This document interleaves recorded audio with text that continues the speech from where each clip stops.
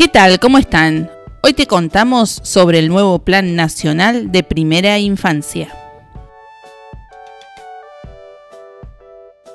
Te contamos que ya podés encontrar en Facebook la fanpage de Trámites y Cobros ANSES. Seguinos en Facebook para hacer crecer esta comunidad. Recordá suscribirte a nuestro canal, así no te perdés ninguna información de ANSES cómo hacer trámites allí. Si te gustan los remedios caseros y naturales, visita nuestro canal Receta Natural.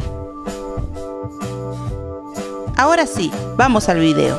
El ministro de Desarrollo Social de la Nación, Daniel Arroyo, afirmó que en el contexto de la pandemia emergió una nueva pobreza, una de las prioridades a atender en la agenda del gobierno son personas que cayeron en la pobreza en el marco de la pandemia, personas que no tienen problema de vivienda, sino de trabajo.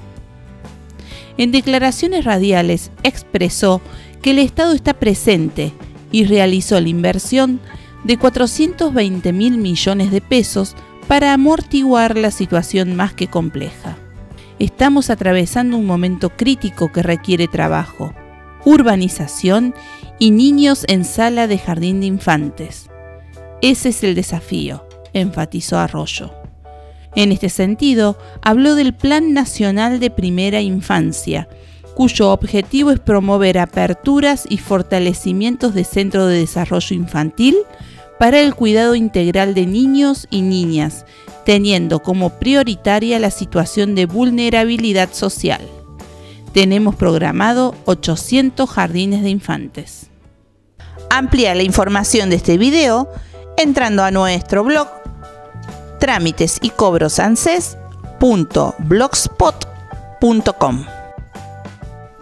Espero que nuestra información te haya sido útil. Si es así, suscríbete, recordá que es gratis. Es solo un clic en el botón rojo y activa la campana para no perderte nuestras noticias y tutoriales de ANSES.